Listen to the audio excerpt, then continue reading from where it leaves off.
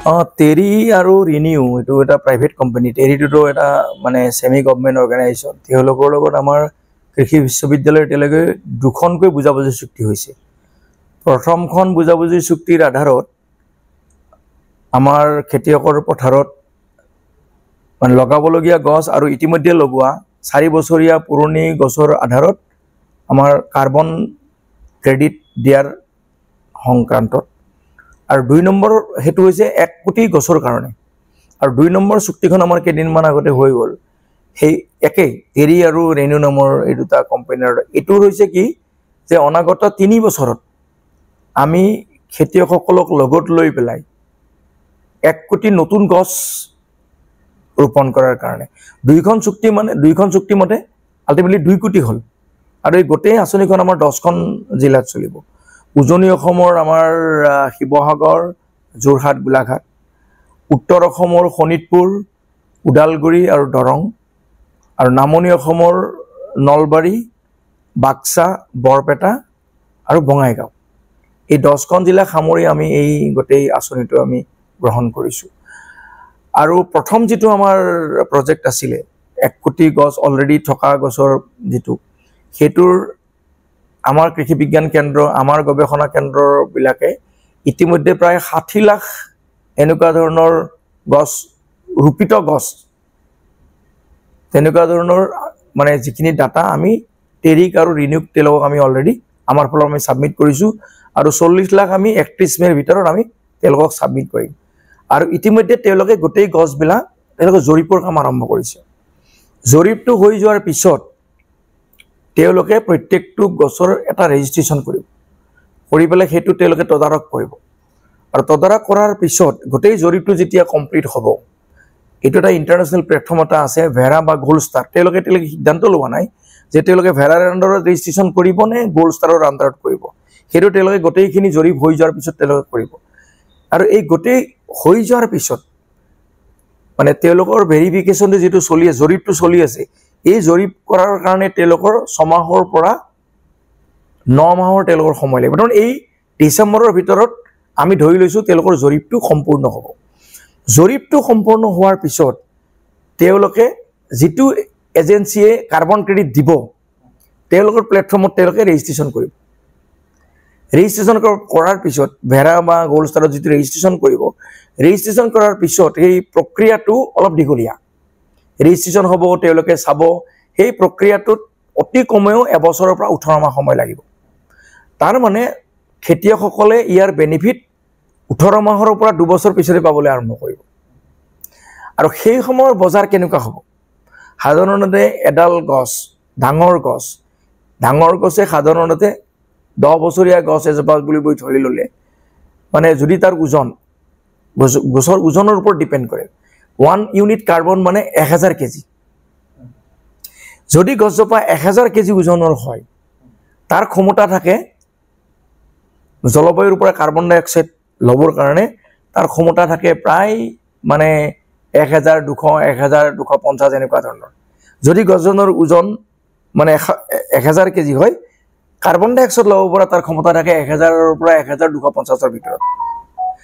আৰু এক হেজাৰ কেজিক ওৱান ইউনিট ক্ৰেডিট বুলি কয়।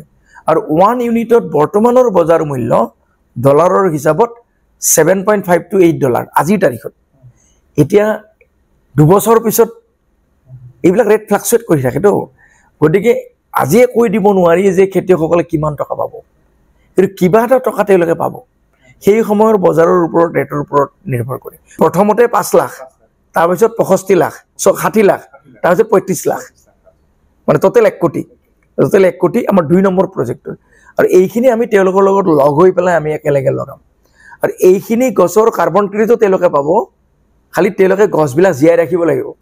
যদি গছ লগালে মৰি থাকিলে তাৰ কোনো ক্ৰেডিট আৰু এইবিলাক গছ তেওঁলোকে যিটো লগ নিজে লগাব এইবিলাক তেওঁলোকৰ নিজৰ। যে তেওঁলোকে ভাবে যে মই বিছ বছৰলৈ গছজোপা ৰাখিম বিছ বছৰ পিছত মই বিক্ৰী কৰিম। ন' প্ৰব্লেম কাৰণ কাৰ্বন ক্ৰেডিট সাধাৰণতে গছজোপা লগোৱাৰ ডাঙৰ হোৱাৰ ওপৰত ডিপেণ্ড কৰে। যিমানে ডাঙৰ হ'ব সিমানে তাৰ মই ক'লোৱে নহয় গছজোপাৰ মানে এ- এহেজাৰ কেজি হ'লেহে এক ইউনিট পাব। গতিকে এহেজাৰ কেজি হ'ব লাগিলেতো মিনিমাম চাৰি পাঁচ বছৰ হ'ব লাগিব গছ এডাল। সেইকাৰণে আমি ফাষ্ট গ্ৰয়িং বস্তুবিলাক লৈছোঁ। অকণমান যিবিলাক যে বগীপমা আমি মানে লগাব কৈছোঁ বা এনেকুৱা ধৰণৰ যিবিলাক হেৰি। তাৰপিছত আমি বাঁহ লগাব দিছোঁ। বাঁহৰ গছটো বিৰাট ফাষ্ট তেনেকৈ আমাৰ মানে মানে আম গছ মধুৰি গছ এনেকুৱা ধৰণৰবিলাকৰ লগাব পাৰে। কিন্তু আমি কৈছোঁ যে আপোনালোকে এনেকুৱা গছ লগাওক যিবিলাকৰ দুইটা ভেলু আছে। টিম্বাৰ ভেলু থাকে আৰু গ্ৰ'থটো ফাষ্ট হয় আৰু ভলিউম মানে মানে সি তাৰ কাৰ্বন চিকুৱেষ্ট্ৰেট কৰাৰ পটেঞ্চিয়েলটো বেছি থাকে। এনেকুৱা ধৰণৰ আমি মানে এই যে এহেজাৰ নাই এক কোটি গছ যে আমি তিনি বছৰত আমি পৰিকল্পনা কৰিছোঁ এনেকুৱা ধৰণৰ এটা পৰিকল্পনা। অঁ সেই বস্তুটো এই বেনিফিটটো মানে তেওঁলোকে ইণ্টাৰনেশ্যনেল মাৰ্কেটত বিক্ৰী কৰিব। এই যে টেৰী আৰু ৰিনিউৰ লগত যে আমি চুক্তিটো কৰিছোঁ টেৰী আৰু হেৰিয়ে গোটেই ছাৰ্ভেবিলাক কৰিব। এতিয়া প্ৰথম পাৰ্টটোৰ জৰীপবিলাক চলি আছে। জৰীপখিনি যেতিয়া তেওঁলোকৰ হৈ যাব তেওঁলোকে এই ভেড়া বা গ'ল্ড ষ্টাৰত প্লেটফৰ্মত তেওঁলোকে আপলোড কৰিব।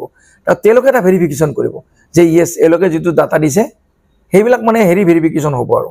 অনলাইন ভেৰিফিকেশ্যন আৰু আজিকালিতো চব G I S best G I S base ইনফৰমেশ্যনবিলাক প্ৰত্যেকডাল গছৰ লংগিটিউড লেটিটিউড দিব লাগিব। য'তে ত'তে বহি পেলাই চাই লাগিব গছজোপা বাচি আছে তাৰমানে। ইমান ছিষ্টেমত তেওঁলোকে কৰিব। গতিকে এইটো ইয়াৰ বেনিফিট সুদূৰ প্ৰসাৰী। এক নম্বৰ কৈছে যে মানুহেতো পইচা এটা পাব। মই ভাবিছোঁ মানুহে পইচা পোৱাতকৈ আটাইতকৈ ডাঙৰ কথা মোৰ এটা ভাল লগা কেইদিনমান আগতে মই আমাৰ পদ্মশ্ৰী এওঁক লগ পাইছিলোঁ। যাদৱ পায়েং যাদৱ পায়েং ইয়াৰ আহিছিলে। তেওঁ মোক এটা তেখেত তেখেতৰ এটা সেই কথাটো শুনাৰ পিছত মই বিৰাট আৱেগিক হৈ গৈছিলোঁ। যে তেওঁ কৈছে বোলে ছাৰ এতিয়া আমি মানুহক পইচা পাওক নাপাওক বাদ দিয়ক। আমি প্ৰত্যেকে গছ লগাব লাগে। প্ৰত্যেকে এইকাৰণে গছ লগাব লাগে যে প্ৰকৃতিক আমি সংৰক্ষণ কৰিব লাগে। গতিকে মানুহক এতিয়া আমি সেইকাৰণে সেই কথাটোকে কৈছোঁ? যে আপোনালোকে পইচা পাব বুলি ভাবি কৰিব নালাগে। মানে কি বেনিফিটটোতো পালে ভাল। কিন্তু আপোনালোকে কাঠ যে পাব বা আপোনালোকে যে প্ৰকৃতি সংৰক্ষণ কৰিব গছ এটা লগোৱাৰ লগে লগে তাত চৰাই চিৰিকটি আহিব বিভিন্ন ধৰণৰ যিবিলাক আমাৰ এতিয়া বহুত চৰাই চিৰিকটি নাইকিয়া হৈ গৈছে। নহয় জানো? সেইবিলাকৰ বাসস্থানটো গছেই। গতিকে সেই ফালৰ পৰা আমি এতিয়া আপোনালোকৰ মিডিয়াবিলাকেও এটা পাব্লিচিটি দিব লাগে যে স্কুলৰ ল'ৰা ছোৱালীবিলাকক এনেকুৱা ধৰণৰ এটা আমি এৱাৰনেছ কেম্পেইন এটা আমি কৰিব লাগে। যে স্কুলৰ আজিকালি প্ৰত্যেক স্কুলত আমাৰ শিক্ষামন্ত্ৰী বৰ্তমানৰ শিক্ষামন্ত্ৰীয়ে যথেষ্ট উদ্যোগ লৈছে। বৰ্তমানৰ মুখ্যমন্ত্ৰীটো উদ্যোগ লৈছেই কিন্তু শিক্ষামন্ত্ৰীয়েও যথেষ্ট উদ্যোগ লৈছে। যে স্কুলে স্কুলে তেওঁ চবকে হেৰিটো কৰিছে। এইটো হ'লে কি হ'ব এটা মাছ মুভমেণ্ট যেতিয়া হ'ব মাছ মুভমেণ্ট হ'লে লাহে লাহে গছ যেতিয়া বাঢ়ি যাব লাহে লাহে লাহে এই টেম্পাৰেচাৰ বঢ়াৰ যিটো এইটো মানে মানুহ আমি যিটো ভয় খাইছোঁ যে সাধাৰণতে এতিয়া কি হয় প্ৰতি এশ বছৰত ডেৰ ডিগ্ৰীমান টেম্পাৰেচাৰ বাঢ়ি আছে। মানে আগতে এতিয়া মানে শেহতীয়াকৈ কৈছে যে নহয় এতিয়া ক্লাইমেটটো ইমান চেঞ্জ হৈছে প্ৰতি দহ বছৰত হয়তো পইণ্ট ফাইভ বা এক ডিগ্ৰী বাঢ়িব পাৰে যদি বৰ্তমান স্থিতিটো মেইনটেইন হৈ থাকে। কিন্তু গছ গছনি লগাই আমি যদি ইক'লজিকেল বেলেঞ্চ এটা কৰিব পাৰোঁ তেতিয়াহ'লে এইটো ষ্টেবিলাইজ হৈ যাব। গতিকে এতিয়া আমাৰ কৰ্তব্য হ'ব গছ আমি যিমান পাৰি লগাব লাগে যাতে টেম্পাৰেচাৰটো ইয়াতকৈ আৰু বাঢ়ি নাযায়। সেইটোৱে আমাৰ উদ্দেশ্য হ'ব লাগে। কোনোবাই কেতিয়াবা পইচা পাব লং ৰাণত ভাল কাম কৰিলেতো মানুহে মানে বেনিফিট এটা পাবই আৰু। আৰু চৰকাৰেও যথেষ্ট গুৰুত্ব দিছে। আমি যেনেকৈ আৰম্ভ কৰিছোঁ শেহতীয়াকৈ চাগে অসম চৰকাৰেও এনেকুৱা এখন ডাঙৰ অভিলাষী আঁচনি তেওঁলোকে পৰিকল্পনা কৰি আছে। কি ষ্টেজত আছে মই নাজানো। আমি কৃষি বিশ্ববিদ্যালয় আৰম্ভ কৰিছোঁ আৰু মই ভাবোঁ অসমৰ বাকীকেইখন বিশ্ববিদ্যালয়েও তেওঁলোকে আৰম্ভ কৰিব লাগে আমাৰ দৰে। আৰু তেওঁলোকৰ অধীনত কেইবাখনো মহাবিদ্যালয় আছে। প্ৰত্যেকখন মহাবিদ্যালয়ে যদি এই ধৰণৰ ইনষ্টিটিউট লয় এতিয়া আমি ধৰক আমাৰ কে ভি কে আছে আমি এতিয়া দহখন ডিষ্ট্ৰিক্টতে কৰিছোঁ। আৰু আমি গোটেইকেইখন ডিষ্ট্ৰিক্টত আমি আমাৰ কিছুমান অসুবিধা আছে। গতিকে বাকী যিকেইখন ডিষ্ট্ৰিক্ট আমি লোৱা নাই গুৱাহাটী বিশ্ববিদ্যালয় ডিব্ৰুগড় বিশ্ববিদ্যালয় বা কোনোবা কলেজে বা কোনোবা মানে এন জি অ'ই যদি আগবাঢ়ি আহে মানে চাওক চৰকাৰৰ ওপৰত আমি ইমানেই বেছি নিৰ্ভৰশীল হৈ গৈছোঁ এইটো এটা ভাল কথা নহয়। আমাৰ প্ৰত্যেকজন নাগৰিক হিচাপে দায়িত্ব আছে। প্ৰত্যেকজনে আমি সেই ধৰণৰ কামবিলাক কৰিব লাগে। প্ৰত্যেকখন মহাবিদ্যালয়ৰ শিক্ষক ছাত্ৰ ছাত্ৰীসকলে এনেকুৱা ধৰণৰ উদ্যোগ এটা লয়। দেখিব যে আমাৰ এটা সুন্দৰ পৰিৱেশ এটা হ'ব। গতিকে এইখিনিয়ে মোৰ ক'বলগীয়া।